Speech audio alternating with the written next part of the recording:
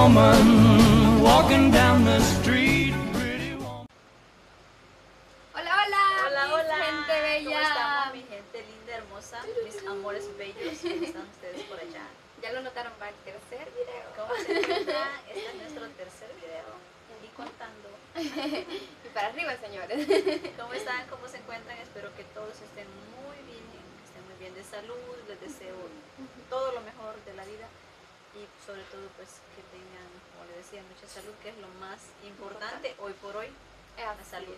Y el amor. ¿verdad? En nuestros corazones. Hacia nuestro prójimo y hacia nosotros mismos. Es lo más importante. Y si está comiendo, qué rico, pero yo tengo hambre. coman bastante. Ay, si comen tan rico que es engordar, ¿verdad? Comer es uno de los placeres De la vida. de la vida. Uno de, uno de Uno de tantos. cuántos. uno de tanto, porque podré- podemos eh, mencionar muchos. Para ustedes, ¿cuál- ¿Cuáles son? ¿cuáles son los placeres de la vida? Para mí, este, comer, dormir, eh, no sé, salir a pasear, es bonito. Caminar, es ¿te un placer, sí. Este, ayudar es un placer también. Servir es un placer. Así es que es un Son placer placeres, poder ¿verdad? estar con ustedes. Así es. un Estar con ustedes es un placer también. Sí. Y otras cositas, ¿verdad? Que no les vamos a decir. Que son placer placeres, de ¿verdad? la vida. Uy. Placeres carnales. Uy, uy, uy. Nos estamos yendo. Esto se, esto se subió. Estamos ¿verdad? saliendo de contexto. Ajá, no son bromas. Ya salimos del. Ajá. Uy, esta Y mujer. pues, queremos pedirles que comenten por favor nuestros videos, los vamos a estar saludando a todos los que comenten, aunque usted no pida un saludo, nosotros si usted comentó le vamos a dar su corazoncito y lo vamos a estar saludando Así es. próximamente. Así es que vamos a estar haciendo videos de vez en cuando De de puros para saludos. la gente. ¿Qué les parece? Pues, Acá en una paginita con su nombre a color, ajá. y su nombre Claro. y todo, y su saludo hasta allá donde usted se encuentra. Así que será un gusto hacerlo. Ajá, es un placer, como Es un te placer. digo, es un placer que ustedes Este, estén aquí, ¿verdad? Con Ajá, nosotros. ahora pues venimos con, ya vieron mi entrevista. Eh, ¿Qué les pareció? A Eh, ver. quizás no fue tan completa, no aclaró todas sus dudas. Si pues quieren preguntar algo más, ya les dijimos, háganlo, con gusto les vamos a responder. Vamos a contestar las que han hecho ahí, ¿verdad? Las vamos a hacer después en otro video ya. Estaremos todas haciendo juntas. otro video y vamos a estar diciendo, fulano de tal Pregunto. me preguntó esto y esta es la respuesta. Ahí, fulano, sutano y mengano, decía mi mamá. Ajá, el fulanito. El fulanito, el menganito, el sutanito. Está preguntando esto, entonces ahí le vamos a... Los salvadoreños van a entender ese caliche. Sí, ¿verdad? Así es. Bueno, ahora venimos, bueno, como les decía, ya vieron mi entrevista, el video anterior. y Ahora vamos a conocer un poco más de Jennifer, de Jennifer uy. ¿Cómo le gustaría a Jenny que le dijeran? Porque, en, en- bueno, no sé cómo le gusta, porque de repente a uno le dicen un nombre, pero a uno le, le gusta que le digan el otro. Por ejemplo, a mí me gusta que me digan, bueno, antes que me dijeran May- mi primer nombre es el que a mí me gusta, Mayra. May. Evelyn, muchos dicen que es bonito, Ajá. pero yo no sé, me siento rara porque nunca casi me, me dicen así. O siente pesado el nombre, así como siento Evelyn. pesadito. en mí, ¿verdad? Porque a mí me encanta escucharlo que otras personas se, Se llamen Evelyn. Evelyn, ajá. Este, de hecho, una, una compañerita de Dani se llama Evelyn. Evelyn. Y yo le digo, hola Evelyn, y yo lo, siento el nombre bonito, pero En mí ah, no, así. siempre nosotros tenemos un nombre más que nos gusta más que el otro. Eh, Mi hija, por ejemplo, se llama Mayra Daniela, pero ella prefiere que le digan Dani. Daniela. Ay, y es así, entonces ustedes digan ahí yo me llamo Juan, pero me gusta que me digan Pedro, entonces ahí es la situación, ¿verdad? Claro. O yo me llamo Juan Carlos, Pero me gusta que me digan Carlos, o José Antonio, pero me gusta que me digan José, y así. Así es. Eh, ¿y Entonces, a ¿a uno usted le guste, le gusta que Bueno, a mí- en mi caso, ahora pues ya My Love, yo prefiero My que me digan My Love. Me siento como Love. más bonito. Ajá. No, yo, yo pues si me dicen Jenny, pues o si me dicen Maricela, Maricela. Lo Pero dos es que si la pusieran a elegir, es como que mm, es que Maricela me dicen alguna gente, pero que sea Jenny. Como que ah, Jenny. Jenny. a mí me gusta más decirle Jenny. Jenny. Aunque Jennifer completito es bonito también. Jennifer. Eh, Jennifer Se oye como cuando- bien imponente ese nombre, Jennifer. cuando me quieren regañar. Jennifer Maricela, pero cayó. Ajá. Cuando ya le dicen a uno todo el nombre completo, es ¿Qué que ya eso es serio, verdad? ya es problema ya. En la casa hablamos, me decía. Yo cuando ya estoy molesta, que a veces la Dani hace algo, ya no, yo no le digo Dani, Daniel Hernández, venga para acá. Ah, Y ella ya sabe que yo ya estoy molesta. esa bomba ya. Sí, entonces, eh, siempre nos pasa, ¿verdad? Que nosotros Sí. hacemos eso. Entonces, pues ya saben, a mí My Love y a ella Jenny. Para los que son nuevos y para los que vienen de los tripudos o de live, pues, Así. ah, ahí ustedes saben, ¿verdad? Bueno, vamos a empezar con la entrevista de Jenny y vamos a estarles dando a conocer algunas Ustedes- cositas sobre ella. Empezamos por, por la primera pregunta que es su nombre completo. Mi nombre completo es Jennifer Marisela Ortiz Ramírez. Pero a veces me van a ver ahí como Marisela Ortiz, ¿verdad? Eh, ¿Cuál es su edad? 23 años, estoy viejita. No, hombre. Recién cumplido, señor. ¿Qué te motiva a salir adelante? Lo que me motiva a salir adelante es, yo siempre tengo ese dicho como que dicen, va, nacer pobre no es nuestra culpa, morir pobre sí, entonces como que yo quiero salir adelante por eso, para tener mis cosas, salir adelante, es como que, ok, superarme yo como persona, eso. En el ámbito profesional, personal. Sí, en todo eso. Si creces como, como, si te forjas como un profesional, obviamente tu vida, tu calidad de vida va a Va a ser, mejorar, obviamente. va a ser diferente. Por eso lucho, ¿verdad? Y sin embargo hay personas también que no son profesionales Y han logrado tener muchas cosas materiales. Sin embargo, pues a cada quien, ¿verdad? Se desenvuelve de la manera que puede y que es bueno. ¿En qué tipo de familia vives? Vivo en mi, bueno, es nuclear, solo vivo con mamá y mis hermanos. Eh, ¿Cuántos hermanos tienes? Tengo dos de mamá y tres de papá. Cinco hermanos. Sí. ¿Qué nivel, nivel académico cursas o tienes? Ahorita es la universidad. Ahí está Beto. Mire, No, no, no, no. No, ven, ven. Bueno, siguiendo, ¿verdad? No pongamos bola porque ese niño entre más lo chulea, más por molestarlo a él. Eh, dijimos que nivel académico tienes. en la universidad ahorita, cursando, ya casi terminando este año, el último ciclo. ¿Qué estás estudiando? Estudio eh, una licenciatura en inicial y parvularia. Va a darle clase a los niños. A los niños de dos añitos hasta nueve años. Qué bueno. Eh, me parece una carrera muy noble esa. Sí, muy de mucha paciencia también. Demasiado. ¿Alg- ¿Alguna vez has pensado en, en emigrar, o sea, en irte A otro o sea, país. otro país? Pues la verdad es que mm, no, eh, nunca emigrar, no, porque yo siempre he dicho de que uno tiene que superarse en su tierra y siento que todos tenemos la capacidad para superarse en su tierra. Sí sería bonito visitar, pero emigrar a otro país, vivir, no. Eh, si pudieras ir a cualquier parte del mundo, ¿a dónde irías? Iría a España, me encanta el- España. No es por mi acento, ¿verdad? no, sino que es porque, no sé, me gusta eh, conocer quizás Barcelona, Madrid, o sea, diferentes lugares que, uy, no sé, me encanta Buen punto. ¿Qué es lo más bonito que te ha pasado en la vida? Lo más bonito que me ha pasado en la vida, mm, yo siempre, tomo algo así como que todo algo bueno, ¿verdad? Algo positivo, pero quizás lo más bonito es quizás empezar mi carrera, porque yo pasé tres años en donde yo dejé de estudiar y pues después ya de esos tres años, después que trabajé, eh, ya comencé mi, mi carrera, entonces como que ahí fue lo empecé lo más bonito, porque empecé a, no sé, a disfrutar eh, en lo que yo quiero ser, en especializarme en eso, así que pues, empezar mi carrera ha sido lo más bonito. Ahí empezó a ver usted que su vida estaba tomando un rumbo un diferente. rumbo diferente, cabal. Eso es. Dice acá, ¿qué es lo más triste que te ha pasado en la vida?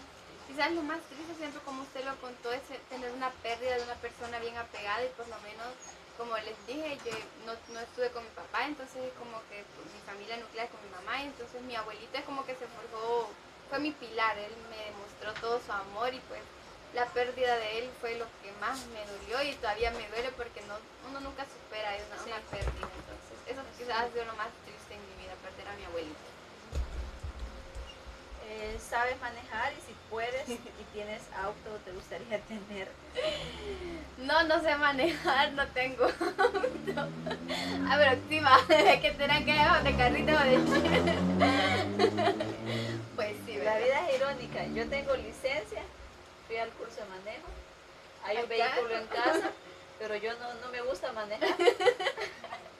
Ya soy ves. Y también soy nerviosa y soy Ah. miedosa. Yo siento que manejara todo el mundo le fuera dando. Yo temo, yo temo ir en la carretera eh, porque yo siento que me puede, me va a pasar algo, siento Ajá. que, que voy a ir a chocar con alguien o que voy a impactar a alguien. Ay, no. Y pensando en eso, digo yo, me va a no. pasar, mejor no. Eh, ¿Tienes algún vicio? Sí. El vicio más bonito que puedo tener es comer chocolate. Eh, me encanta dormir también, otro vicio. Me encanta dormir. De ahí, ninguno. No, vicios de Vicios malos, no. vicios de tomar, salir de fiesta, andar en baile, jaripeo, no. Bueno. Eh, ¿Cuál sería para ti la pareja ideal? La pareja ideal para mí es un hombre prácticamente que, que sea de buenos sentimientos, o sea, que trate bien a las demás personas, no solo a mí, o sea, que sea bien humilde, tranquilo, respetuoso, el respeto es lo que, va, que basa prácticamente. Entonces, más de todo eso, eh, la apariencia simplemente no importa si tiene bonitos sentimientos. Para mí es la pareja ideal. ¿Te consideras una persona sentimental? Sí, demasiado. A veces con una miradita es como que no lo, no, no lo notan, pero yo como que, ay, qué feito se sintió. pero sí soy bien sentimental cuando, de una persona que uno aprecia, que te diga un, un desplante, es como que duele, soy, soy bien sentimental. Cuando viene de alguien que tú quieres mucho Ajá, o le tienes un cariño especial y que esa persona sí, es eso feo. sí. Y por muy fuerte que alguien sea, siempre Ajá. Le va a pegar. Se la chicopala el Ujú. corazoncito. ¿Qué tanto te afecta lo que la gente piense de ti?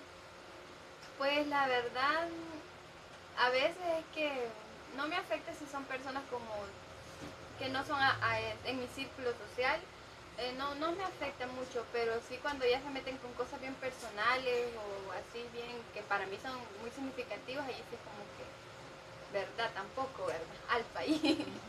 Ajá. Eh, ¿Qué tanto, ah no, sí estuvo. ¿Qué tan rápido te enojas? Pues no, soy bien paciente. Yo uh, me voy enojando así de gotita en gotita hasta llenar un barril. Soy bien, así bien calmada, ¿verdad? Casi nunca me han visto enojada. Pero sí, Una llamada de tusa. ajá, tampoco lo intenten enojarme. Es que las que nos cuesta enojar, Son las que... no, yo sí me enojo con facilidad, fíjese. Sí. Sí, ese es mi Sí. punto débil. ¿Quién las enojar más? Esa es una Ah. pregunta buena. ¿Cuál es tu color favorito? Mi color favorito es el verde, el verde y el celeste, pero más que todo el verde. Así. Em, ¿Qué tan tóxica eres, ya sea con las de tu en- gente de tu entorno o en el caso Pues, de una novio, podría pareja. ser con la pareja? Soy re tóxica. No le creo. No es como que, ok, si hace algo, pues obviamente va a salir lo tóxico.